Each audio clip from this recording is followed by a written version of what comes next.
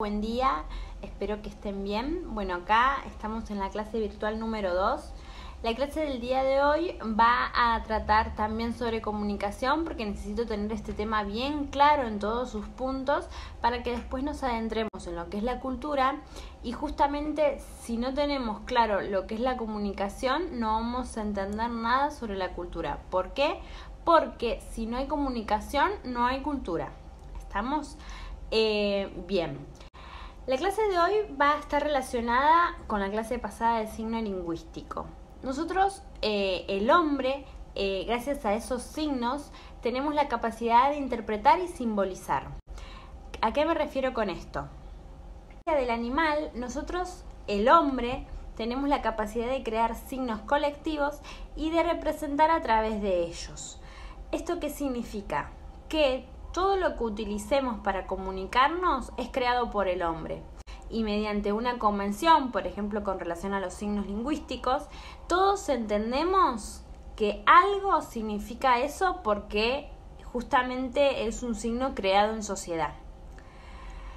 También tenemos una particularidad, la capacidad de comprender e interpretar nuestro entorno. O sea, nosotros vivimos en nuestro contexto comprendemos ese lugar donde vivimos y también lo interpretamos. Eso significa que yo voy caminando por la calle, por ejemplo, esos cartelitos que tienen un nombre, sé que son las calles, cómo se llaman esas calles. Por ejemplo, puede ser que yo voy caminando y veo a una cuadra y media una em, cruz verde hace lucecitas. ¿Qué significa eso? que hay una farmacia. Entonces, eh, eso que nos eh, brindan los signos es la comunicación, que justamente es la acción de intercambiar información entre dos o más participantes. Que ese participante no necesariamente tiene que ser otra persona, porque yo me puedo comunicar con el celular y no es una persona, ¿entienden? Eh, entonces, y de hecho yo voy por la calle y me van comunicando cosas, por ejemplo, con las propagandas, eh, las publicidades que hay en la vía pública. Eh, ahí son actos de comunicación que no necesariamente yo tengo que estar hablando con una persona, ¿sí? Eh, entonces, la comunicación se divide en tres. Puede ser oral y escrita, gestual e icónica.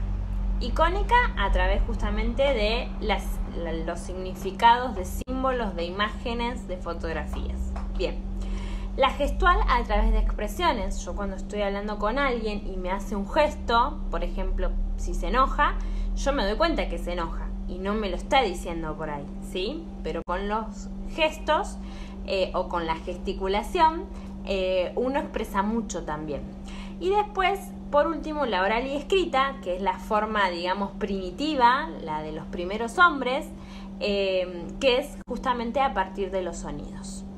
Bueno, a partir de esto yo les voy a dejar unas páginas del libro eh, para que hagan una serie de actividades con respecto a esto. Cualquier cosa me consultan si hay alguna duda sobre el texto, sobre el video o sobre lo que tienen que hacer, me consultan. Yo voy a estar en el aula web online en el horario de la materia, acuérdense.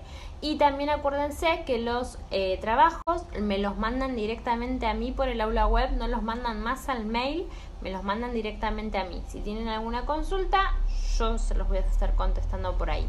Así que bueno, no me queda más nada que decir. Síganse quedando en casa, síganse cuidando, síganse lavando las manos y eh, nos vemos en la próxima clase virtual. Un besito.